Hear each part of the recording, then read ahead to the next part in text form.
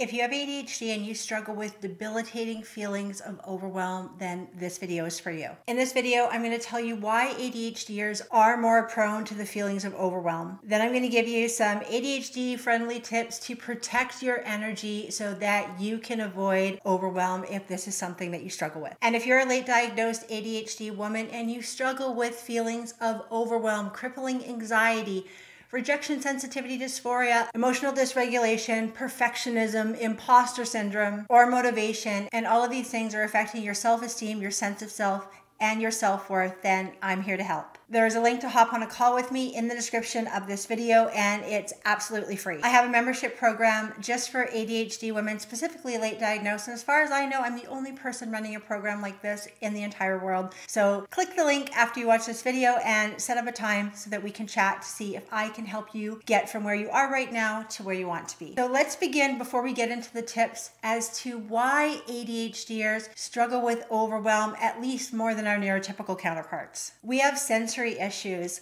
Things like sound, light, too many people in a room can be really, really overwhelming. We also struggle with ADHD big feelings, also known as emotional dysregulation. And when we are dysregulated, it affects our executive functions. And what our executive functions are is really that office manager of our brain. So things like impulsivity, organization, motivation, emotional dysregulation are all part of our executive functions. And when you have ADHD, you have a deficit or a delay in your executive functioning capabilities. A lot of us struggle with perfectionism, imposter syndrome, and we struggle with transitions, which means if we are doing one thing and then let's say we're abruptly interrupted and needing to go into a different direction to do another thing, that can cause a lot of overwhelm for us. Societal expectations, the neurotypical binary, also can affect us viscerally, where we feel the effects of overwhelm because maybe our neurotypical counterparts at work or in our personal lives are doing things much easier than we are, and that causes overwhelm for us. And the final reasons that overwhelm can really affect us is having multiple roles and responsibilities, as well as information overload. Now, let me know in the comments if you are aware of all of these reasons that we might fall into overwhelm, and which of these reasons are affecting you currently in your life right now or have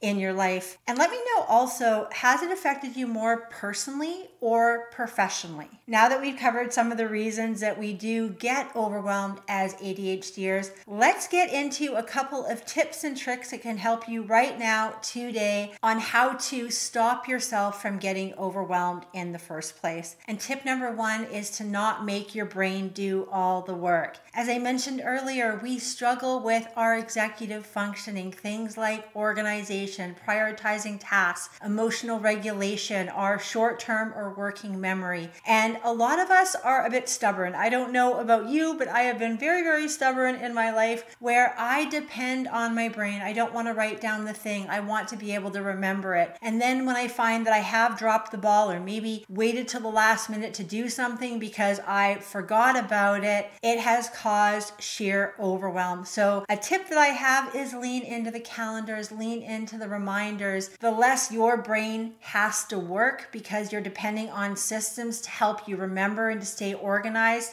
the less chance you will feel overwhelmed. Now, number two is to break tasks down into manageable bite sized pieces. Sometimes when we think about doing a task, it can feel like climbing a mountain, and there are a lot of steps to get from the base of a mountain to the top of a mountain. So, a little bit of pre planning on the front end can absolutely alleviate overwhelm. Number three is to limit distractions and to only do one thing at a time. If your desk is messy and cluttered and there's too many distractions, with noise or your phone pinging, it's really hard to stay focused and hyper focus on the thing that we're doing. So, removing distractions can absolutely alleviate overwhelm. And again, this comes to a little bit of pre planning. And, you know, something that a lot of ADHD people struggle with is they'll be hyper focused on doing a task, and then all of a sudden something pops into our head like, oh my gosh, I have to get milk on the way home from work. And that distraction, again, can impede on our ability to stay on track because remember, we're not very good with transitions. So, what I do to remedy this, because my brain never shuts off, is I keep a pad and a piece of paper beside me while I'm hyper focused on doing a task. And that way, if an idea comes into my head or I all of a sudden remember, oh, yes, I need to get milk on the way home from work today, I can just jot that down and get right back to work. I don't have that other thought in the way of what I need to get done because I have had the thought come into my head, I've written it down, and now I can move back into my task. And number four is to work into time blocked periods as well as taking regular breaks once you've worked in that time block. I don't know about you, but I'm an absolute workaholic and I'm guilty of forgetting to take breaks, using the bathroom, getting a bite to eat. And that does add to the overwhelm, but it also increases the chances of getting into ADHD burnout. And once we're burnt out, we need to take some time to recover. So it's actually more efficient to work in a reasonable time block and to take breaks to avoid overwhelm and then the long term effects of possibly burning out. I absolutely love the Pomodoro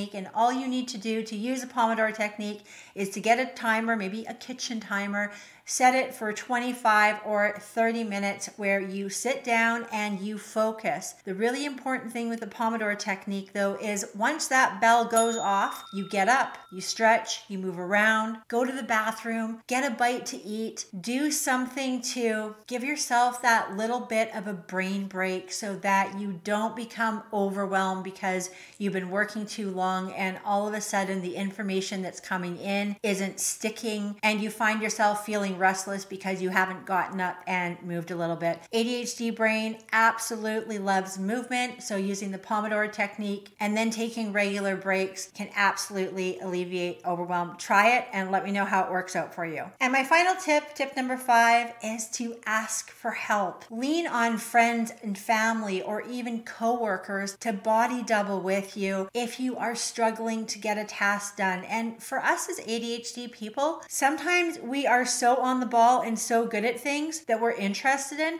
but if we're not interested in something, it can be really, really painful. It's amazing how much more efficient and less overwhelmed we are when we just have someone beside us talking us through the task that we're doing or just sitting beside us so that we don't feel alone while we're doing it. And if a task is so completely overwhelming for you that you absolutely cannot do it, asking for help, asking for someone to do an aspect of that task for you, or even hiring it out if you're you're in a position where you can afford that will absolutely alleviate overwhelm. We seem to be these energizer bunnies when we are really hyper focused and really interested in something. But when something's mundane, it can be really, really hard and it can be absolutely energy draining and make us feel like we are going through crippling overwhelm. So, asking for help and hiring things out when you can can absolutely alleviate overwhelm. That's all I have for you today. Don't forget to book a call with me if if you are female, late diagnosed with ADHD, and you'd like to talk about my program,